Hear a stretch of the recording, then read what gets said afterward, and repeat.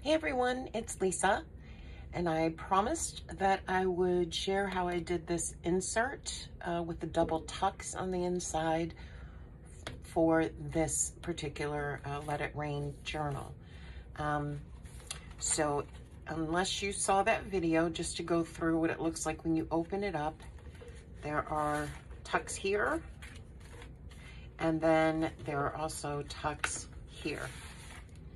So I wanted to show how I did this with one single piece of 12 by 12 paper. And then for my uh, part here, this part that'll be on the inside, um, I have chosen to use uh, a jelly print and I'll show you that with the demonstration one. But I just wanted you to see the basic construction of this because it's so easy. Um, this one I did attach, but you can make this so it's removable I just kind of like the option that it's in the middle of a signature and it's something cool. So, how did I do it? Well, sometimes I get a piece of paper because I want to create a new tuck spot and I sit there and I fold it like like a person who just can't sit there and keep their hands still. So, you know, I I really like to think of different ways to do different tucks. So this is a 12 by 12 sheet of paper. I have folded it diagonally down the middle, as you can see there. And then all you do is fold the inside part to create uh, an overlapping area right here. And at that point, right there is where you're gonna put glue of your choice. So then you have these edges over here. Now mine, I chose to cut mine off. So all you have to do is cut these off. I've got one ready to go over here, but I wanted to show you this.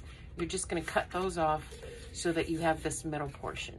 So, hopefully I explained that well, even though it's a little fast. I don't like taking a long time for tutorials if I can tell you quickly. So, here we've got one that I've done. I chose uh, an iridescent paper that it's really pretty. Um, and I am doing a flower fairy journal so I thought it would be kind of cool to use a flower print, uh, jelly print that P&M had sent to me. And they did this on some tissue paper.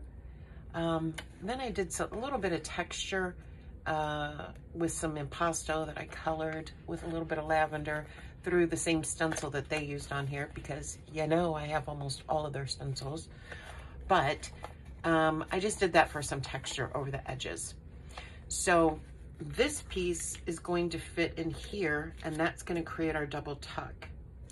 So whatever you choose to use for this, um, by all means, you know, use use your jelly prints. Just make sure it's on something firm. So this, like I said, was on tissue paper and I just backed it with a piece of vellum to kind of keep that translucent quality. So once you've cut this down so it'll fit into this area here, corner or yeah, corner to corner here. Then you just take your little circle punch and you make it so you have an easy pull-out area on the edge. And there it is. At this point, then you can, let's do this real quick so you can see how I did that. Um, you can edge it. So the purple ring one I did, um, I edged this with gold just because it was flashy, you know, because it was for prints. But this is more organic.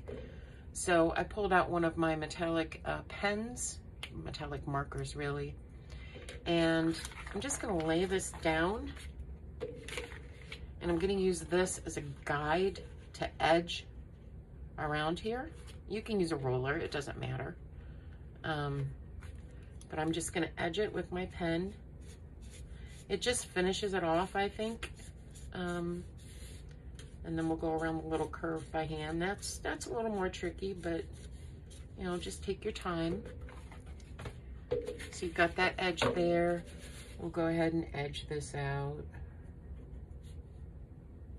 I like to do it in slow arcs, so it's kind of natural looking or more even, I should say, not natural. And then go along the bottom. Some of the bottom will show, but not all of it, um, because it will be hidden by part of your flap. So I hope everybody's doing well. It's Monday. Um, it is warm here. It is in the upper 70s, humid, and it is intermittent rain. So kind of like weather that people have, you hear all the time in England, it rains a lot, it rains a lot. Well, it's spring here, so this is the time we typically get rain. And you wouldn't believe it, but my two furry kids are not fighting right now. I actually had to put Bella in time out um, when I was trying to help P&M moderate in their live yesterday because the cat was picking on Bella and his name is Thor and he totally lives up to his name, trust me. Um, he kept trying to pull her fur out of her back of her legs while she was standing there, which she doesn't even do anything. She just, she just kind of stands there, but Anyway, I had just vacuumed. I was not going to do it a second time the same day. So he got to go and time out in my bedroom for a little bit. But they're actually being good, and she's laying down on the floor right next to me. So it's so quiet, and I love that. All right. All right, so we've got that all edged out here, and you can also edge here. I guess I'll, I'll do that later just for intents and purposes to show you the construction. So the only place you're really gonna glue this is right along the bottom and the top because you want the sides to be accessible. So I'm gonna go ahead and use my, um, busted into my brand new 24 pack of my favorite glue sticks. And these are Scotch Permanent glue sticks. Um, I like these when I don't want things to ooze and uh, I want, you know, just a real simple, real simple glue line like this. I mean, typically I like to sew, but in this case, I don't want the seams to be showing on that part. All right. So now I'm gonna put this in here, line up my crease that's down the middle. Make sure I kind of get it centered. Looks pretty good to me. Okay. And then we're just gonna put a dab of glue. You'll see where you wanna put the dab. Fold this guy over too. Just like this.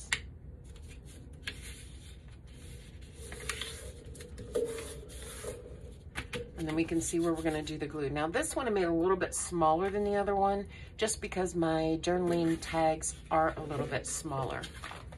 So anyway, I'm not gonna put, I'm only gonna do it, let's see, right to there. Take this out. Well, I just glued that down. That wasn't very smart, was it? Yeah, let's reaffix that. See? Got in a hurry. Okay, go back down. There we go. All right.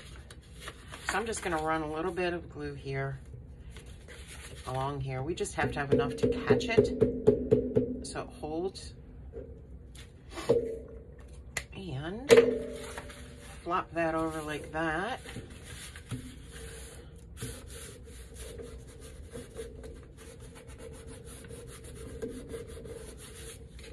Then you're just gonna fold this over. Again, right along your crease, but line up your edges. Everything looks neat. Now, if you get a little piece where maybe you didn't get it quite so even, you can always run that little edge right through your paper cutter and trim that off. Sorry. I feel like I swallowed a thumbtack. Okay, so I don't have my bone folder back here, so I'm just gonna use this to do it. So that is it. Now you can absolutely decorate the outside, um, front and back, which I am gonna do. Maybe some stencils or something on it. But you see you've got the double tuck here. So that's it. You just attach it in, sew it in if you're going to affix it, or just add ribbons if you just wanna be able to pull it out. Maybe put some pages in here, that might be nice too. But that's pretty much it. Um, very simple, a lot of fun, and I think a really quick way to make a double tuck uh, in the middle of a, of a signature. So anyway, everyone take care, have a great day, and I will talk to you soon. Bye.